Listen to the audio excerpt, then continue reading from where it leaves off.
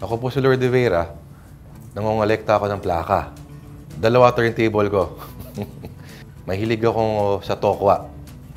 Fried tokwa. Ang unang-una kong binotong presidente noong 1992 elections, si Miriam Defensor Santiago. Ayan. Next fact.